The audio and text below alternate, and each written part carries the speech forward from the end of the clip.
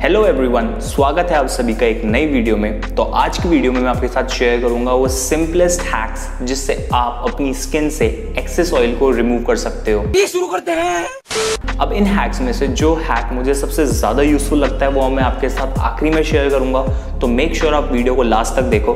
अगर आप इस चैनल पर नए हो तो जल्दी से चैनल को सब्सक्राइब कर लो ताकि आप और मैं कनेक्टेड रह सकें और एक साथ ग्रो कर सकें। मैं बचपन से स्पोर्ट्स में ज़्यादा एक्टिव रहा हूँ और इतनी गर्मी और पॉल्यूशन के बीच रहने के बावजूद मुझे आज तक एक्ने रिलेटेड प्रॉब्लम्स को कभी फेस नहीं करना पड़ा है।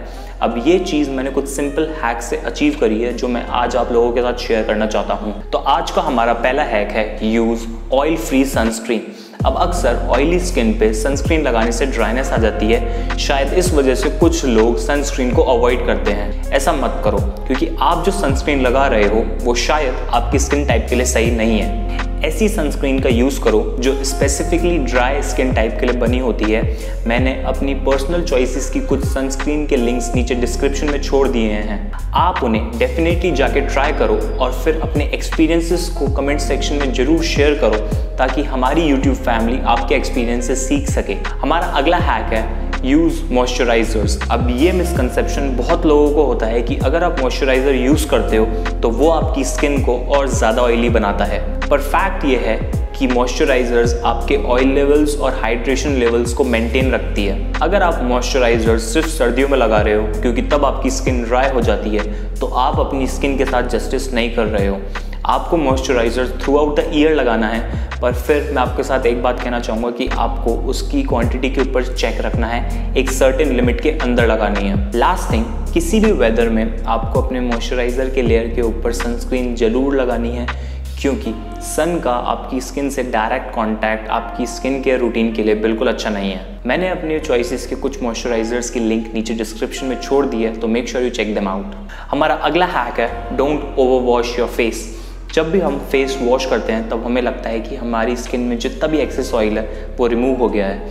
हमें ऐसा फील होता है कि हमारे फेस में जितना भी डर्ट है एक्सेस ऑयल है वो फेस वॉश करने की वजह से रिमूव हो चुका है। मतलब ऐसा होता है।